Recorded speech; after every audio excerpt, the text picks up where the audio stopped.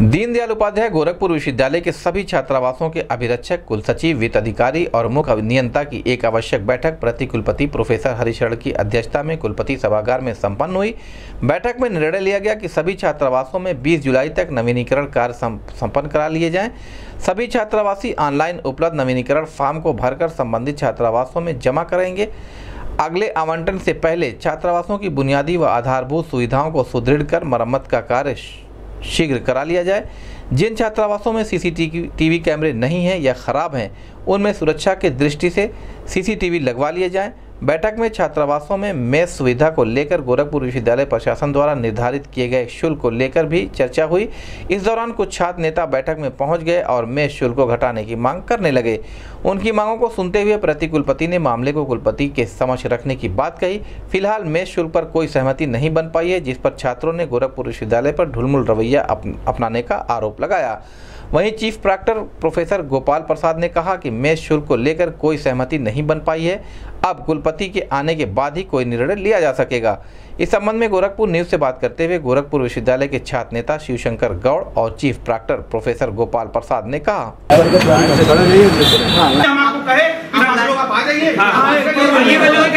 क्यों नहीं मिलवा आपने बोला आपने कहा आपने कहा तभी तो आपने कहा आपने कहा। आपकी बात से सुन ले? हाँ उसके बाद जो निर्णय लेना अपना आपने कहा। नहीं नहीं आपने कहा। आप एक बात हमारी बात सुनिए। ये गोपनीय बात कैसे करेंगे कोई कोई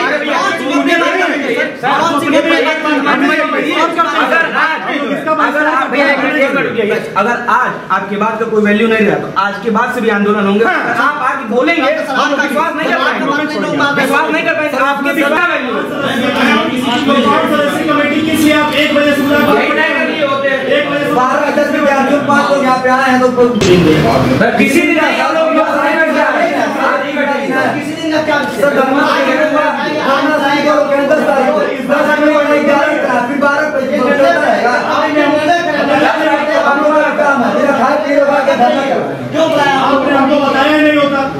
इसके बैठे हुए हैं लोग करना तो अपने कर ले जाओ अपने समझ लेते फिर हम लोग के माध्यम से काम मीडिया को ये सुना है आयु को ये सुना है हम लोग के साथ होगी हम लोग का ये सुना है हम लोग बच्चों के साथ बैठक किया गया कौन से बच्चों के साथ बैठक किया गया कौन से प्रतिनिधियों के साथ बैठक किया हम लोग तो नहीं गया तो हम लोग है बच्चों को मत मैं सर में सर स्वामी विवेकानंद एक सौ दो नंबर से। सर मैं दो सौ तेरह क्लास के हैं। BEd second year B Ed second year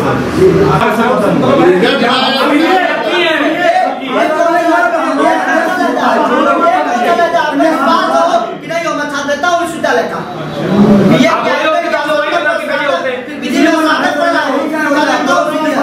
मंत्री और उपाध्यक्ष लड़ा हुआ यहाँ से विश्वविद्यालय से बच्चों ने प्रतिनिधि बना के भेजा है धीरे बोलो अरे हमें क्या पता है हम लोग सुने थे लोग ये बोले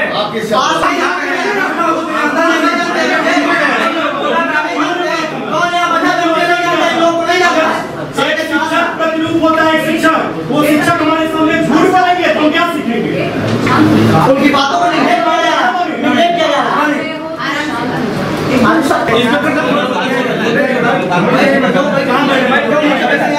कुर्सी में आकर नीचे बुलाइए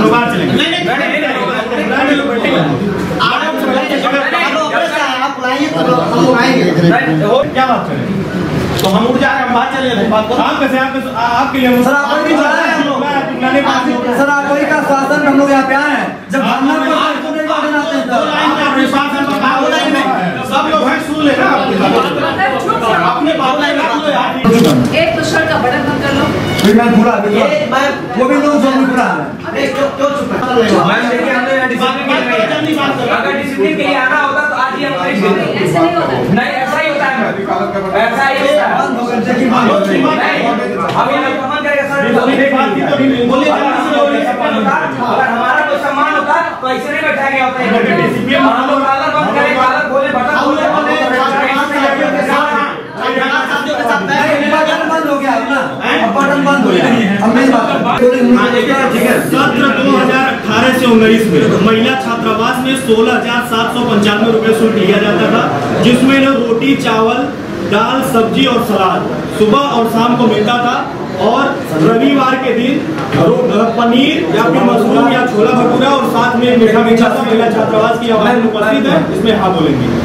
अब आपको बताता हूँ कि चालीस हज़ार रूपए इस वर्ष फ़ीस निर्धारित किया गया है। इतनी महँगाई में बढ़ोतरी नहीं हुई है कि सोलह हज़ार एक सौ पचहत्तर से चालीस हज़ार रूपए कर दिया गया। नहीं हाँ मैं पूरी बात आप पहले बोलो फिर आप मैं बोलूँ अब मैं बता रहा हूँ यहाँ डीएनडीसी का हॉस्टल चलता है प्रताप आश्रम नाम से।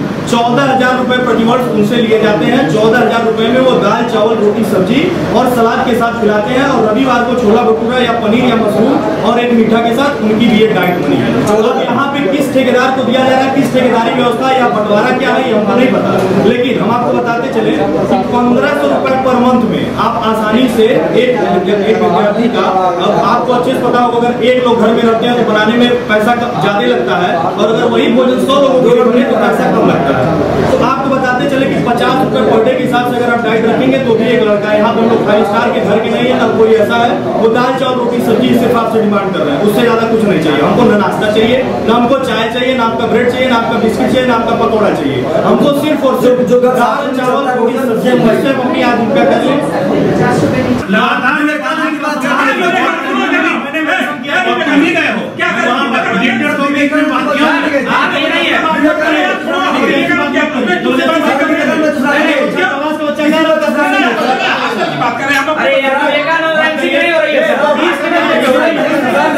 देखिए विश्वविद्यालय प्रशासन केवल और केवल छात्र विरोधी काम करती है जब हम लोग आंदोलन पे बैठे थे छात्रवासियों के साथ तो माननीय चीफ प्राक्टर महोदय माननीय कुल सचिव महोदय शहर के एसपी सिटी साहब एसपी सिटी मजिस्ट्रेट साहब cantt S H SHO ASP साहब आके हम लोग का आंदोलन रुक, रुकवाया। उन्होंने कहा कि हमें मौका दो हम विश्वविद्यालय प्रशासन के सभी वार्डनों के साथ सभी मुख्य पदों पे जो बैठे हैं टीचरों के साथ हम बैठक करेंगे। बैठक हुई बैठक में वार्डनों ने हम लोगों का बहिष्कार किया कहा कि हम बैठक में साथ नहीं बैठेंगे। आप कौन से पैमाने पे इसका पैसा आप वसूल कर ले रहे हो? कौन से पैमाने पे आप कह रहे हो कि तीस हज़ार रुपये दस महीने का दे देना है? हमारी मांग थी सोलह हज़ार रुपये किया जाए। बैठक नहीं हुई है, केवल ढकोसलेबाजी है। बैठक पूर्ण रूप से सही नहीं था, जिसका हम लोग बैठक का बहिष्कार करते हैं। कुलपत जी आ जाए। कुलपत जी जब आएँगे तो चीफ प्राक्टर जैसा काम कुलपत जी से मिलने आएँगे। और अगर मेस की फ़ीस कम नहीं की जाती है। तो जैसे पहले भी हम सड़कों पे विश्वविद्यालय प्रशासन को झुकाने का काम किया है, वैसे पुनः हम विश्वविद्यालय प्रशासन को सड़कों पे लाने का काम करेंगे। हम मेस नहीं चलने देंगे इन व्यवस्थाओं के कारण। बैठक ही जानबूझ के किया गया। ये राजनीतिक स्टंटबाजी विश्वविद्यालय का। बच्चे आक्रोशित हैं। आपको बताऊँ जो तेईस सौ, इकतीस सौ कुछ रुपए छात्रावास का फ़ीस लगता था बीए फ़र्स्ट ईयर का, ठीक है? लेकिन उसको बढ़ा के अब छः हज़ार रुपया कर दिया गया है कि आंदोलन ना हो, बच्चे आंदोलित ना हो। ये विश्वविद्यालय प्रशासन न बिजली दे पा रहा सही से, ना पानी दे पा रहा सही से। आप कल देख सकते हैं, कल सैकड़ों, हज़ारों बच्चों ने कल सड़क रोड जाम किया। कल एसपी को आना पड़ा, एस एच को आना पड़ा, तमाम प्रशासन को आना पड़ा। ये बिजली और पानी सही से नहीं दे पाते हैं तो ये मेस कैसे चलाएँगे? खाना क्या देंगे? आप ये सोच सकते हैं, जिस चीज़ों को लेकर ये क्यों लीपा पोती कर रहे हैं, विश्वविद्यालय पर क्यों लीपा पोती कर रहा है। मेस खुलने से किसका फ़ायदा होगा? केवल वार्डन लोगों का फ़ायदा होगा। दाल, चावल, सब्ज़ी, मसाला, तेल, मसाला, सब इनको मुफ़्त में पहुँच जाएगा। इसलिए ये चाहते हैं कि मेस चले, और हम चाहते हैं कि सेंट्रल मेस बना दें सेंट्रल में से नहीं कर सकते तो सोलह हज़ार रुपये पर करिए। एक बच्चा पचास रुपये में अच्छा भोजन कर सकता है। हमें रसगुल्ला नहीं चाहिए। हमें पापड़ नहीं चाहिए। हमें दाल, चावल, सब्ज़ी, रोटी चाहिए। आप जे का देख लीजिए, आप बी का देख लीजिए, आप इलाहाबाद का देख लीजिए दिव्य नाथोत्तर महाविद्यालय के प्रताप आश्रम का आप मेस की व्यवस्था उठाकर देख लीजिए, जो चौदह हज़ार में भोजन देता है। हम तो पंद्रह सोलह हज़ार रुपये कह लेकर के जो बच्चों को बुलाया गया था, बताया गया था कि भाई आप लोग पाँच लोग आ जाना। सिटी में स्टेट साहब के सामने बात हुई थी, लोगों ने धरना प्रदर्शन किया था। तो तत्काल जो है उस समस्या से निपटने के लिए इन लोगों को सिटी मजिस्ट्रेट साहब द्वारा, रजिस्ट्रार साहब द्वारा, हमारे द्वारा जो ज्ञापन लिया गया था, इनको कहा गया था कि अगली जो बैठक होगी, उसमें आपकी बात जो है सुनी जाएगी। आज जो है बैठक हो रही थी उससे संबंधित हॉस्टल से, हॉस्टल में तमाम जो निर्माण कार्य जो हैं, जो ज़रूरत है इससे संबंधित, उसके लिए भी आज शायद छात्रावास में काम शुरू होना था तो वो शुरू हो भी गया है। कुछ विरोध भी शायद सुनने में आया कि जो है बच्चों ने दर्ज कराया। तो इसी संदर्भ में माननीय प्रतिकुलपति जी ने एक बैठक भी बुलाई थी। उसमें सारे वार्डन लोग और वित्त अधिकारी, कुल सचिव जी सब लोग आए थे। और में संबंधी बातें इनकी सुन ली गई है, लेकिन अभी फ़िलहाल जो डिसीज़न था वही है। और अगर माननीय कुलपति जी आते हैं और फिर बच्चों को जो बात अगर करना होगा तो वो करना चाहेंगे तो करेंगे। अभी उसमें कोई तब्दीली नहीं है। आधिकारिक रूप से जो मैं आपको बता रहा हूँ।